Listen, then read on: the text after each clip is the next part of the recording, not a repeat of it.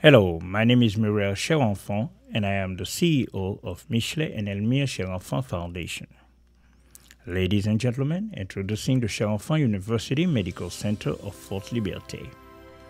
The Cherenfant University Medical Center is conceived and designed to be a hospital of 150 beds at the service of the population of the city of Fort Liberté, the community of the Northeast region of Haiti, and its surroundings besides opening the door for employment opportunities for local medical personnel, and also with the support and contribution of many international physicians and nurses.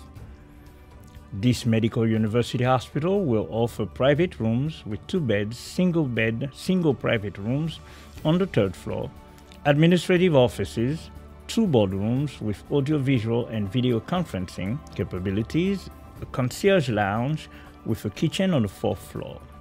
Let us admire now this beautiful facility.